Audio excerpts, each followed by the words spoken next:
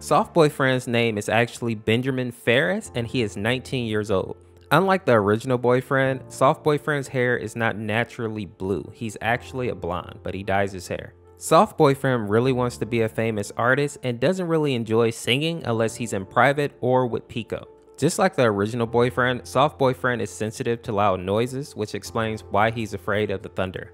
Soft boyfriend really cares about soft girlfriend and he wishes that he could love her the way that she loves him, but he knows that that would be a mistake because it would only end up hurting both of them. Soft boyfriend is gay in this mod while Pico is bisexual. Soft boyfriend has PTSD, ADHD, and anxiety with depressive episodes. This is in large part due to his parents and why he lashes out at them in week 5.